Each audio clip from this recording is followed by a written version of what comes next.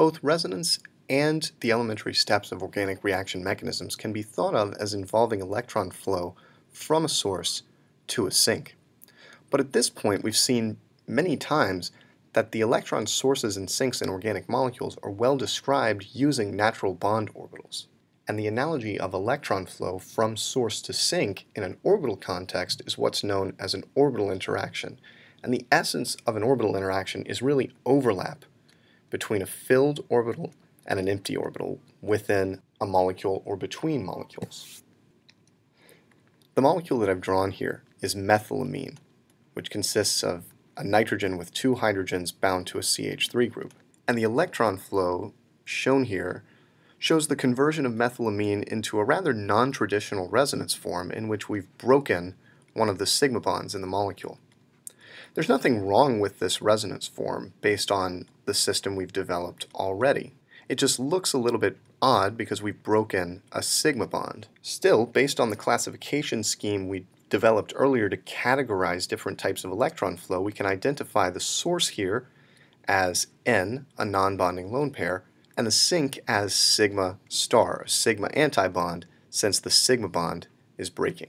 These labels, hopefully by now, are very suggestive, and as you may have guessed by now, the labels indicate natural bond orbitals involved in an orbital interaction that corresponds to this electron flow. Curved arrows have physical meaning and the physical meaning they have is related to these orbital interactions. We can draw a couple of different pictures to depict the interaction that's going on here. One of them is shown for you on the right. What's shown on the right are the shapes of the n and sigma star orbitals that are overlapping to produce this interaction. Here's the source orbital, an sp3 hybrid on nitrogen, and here's the sink orbital, an antibonding orbital associated with the CH bond.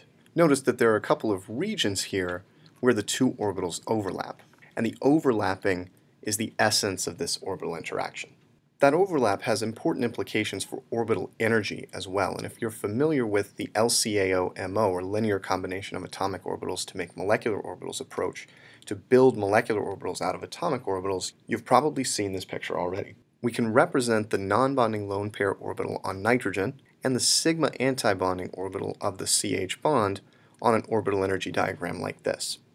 As we expect, the sigma star orbital is higher in energy than the non-bonding orbital. The interaction between these two orbitals results in a lowering in the energy of the filled orbital. Notice that this is a stabilizing effect since its energy is going down and it's filled, and a raising of the energy of the antibonding orbital. And notice that this too corresponds to a stabilizing effect. The bonding combination corresponds to constructive overlap of the non-bonding lone pair orbital and the sigma star orbital, and the antibonding orbital corresponds to destructive overlap or a subtractive combination between the non-bonding and sigma star orbitals. The extent of this stabilization, how far down this orbital goes and how far up this orbital goes, tells us about the importance of this alternative resonance form. The greater the stabilization, the more important that resonance form.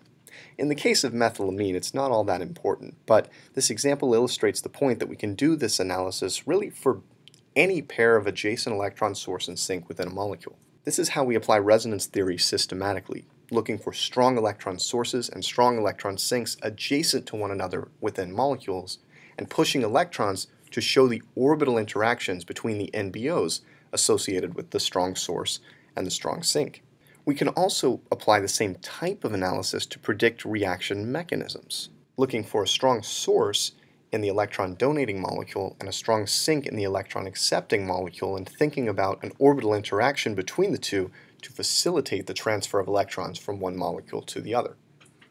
Now that we've been given a taste for the idea that interactions or overlap between NBOs is the essence of resonance, let's look at a couple of more examples. Thioformate contains a good electron source in the form of the negatively charged sulfur atom adjacent to a carbon-oxygen pi bond whose pi star orbital is a pretty good electron sink. The resulting resonance structure is shown at right and it reflects the overlap of the non-bonding lone pair orbital on sulfur and the pi star orbital between carbon and oxygen we can draw out this situation without ever calculating the natural bond orbitals of the molecule. The pi star orbital has the typical appearance of a pi star orbital, with a much larger lobe on the less electronegative atom, and opposite signs on the two atoms. Although we might expect the non-bonding lone pair orbital on the sulfur to be a hybrid, recall that for optimal orbital overlap, this should be a p orbital. And so we can represent the non-bonding lone pair as a p orbital on sulfur, showing the interaction as an arrow from the donor orbital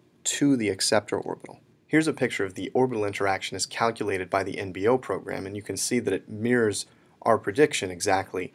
The only difference is that the lone pair orbital on sulfur is slightly bigger than the pi star orbital between carbon and oxygen, which we would expect for a third row versus a second row element. So that to some extent was us just being a little bit sloppy. Now one question that we can answer now that we have the actual NBO calculation in front of us is how important is this interaction to the overall structure of the molecule? Is the molecule mostly S minus or is it mostly O minus? That depends to some extent on how stabilizing this interaction is. And if we look at a table that lists the most important interactions in the molecule and the energies associated with them, we can see that the interaction between sulfur's lone pair and the pi star orbital between carbon and oxygen, the BD star 2 indicates a pi star orbital, is very large in comparison to all of the others, 68.7 kilocalories per mole. That's huge stabilization associated with this orbital overlap, and it's telling us that the alternative resonance form is extremely important to the structure of the molecule as a whole. As a second example, one of the cyclic isomers of glucose is characterized by a very interesting orbital interaction between a non-bonding lone pair on the oxygen within the ring and the sigma antibonding orbital for the carbon-oxygen bond shown, shown here. The resulting resonance structure is reminiscent of that methylamine resonance structure that we looked at previously with a carbon-oxygen double bond now, positive charge on oxygen, and negative charge on the oxygen of the CO bond that breaks. Here again we can draw a picture of the interacting orbitals without ever actually doing an NBO calculation. The fact that we see a non-bonding lone pair acting as the electron source tells us that a non-bonding orbital is going to be associated with that electron source. And this is most likely something like an sp3 hybrid orbital. The adjacent CO bond is engaging its sigma antibonding orbital, which has the typical appearance of a sigma antibonding orbital within any organic molecule. There are large lobes on the outer edges of the bond, and these have opposite phase. I'm going off the screen a little bit with the lobe on oxygen, and there are smaller inner lobes with a node between the nuclei. The interaction here is between the non-bonding orbital on the oxygen and the largest lobe of the sigma antibonding orbital for the CO bond. The glucose model system shown here shows us this orbital interaction based on the results of an actual NBO calculation. O8 is the oxygen within the ring, O6 is the oxygen that's part of the CO bond that breaks, and we can see very clearly here the interaction between the lone pair engaged in resonance, which this calculation actually puts in a bona fide p orbital, and the sigma star orbital of the CO bond. And one point to note about this sigma star orbital that we didn't do a good job of drawing in this picture is that the lobe on carbon is much bigger than the lobe on oxygen. So there's overlap both between the upper lobe of the p orbital with that kind of backside lobe of the sigma star antibonding orbital and between the lower lobe of the p orbital and the internal lobe of the sigma antibonding orbital at carbon. Just how important is this interaction?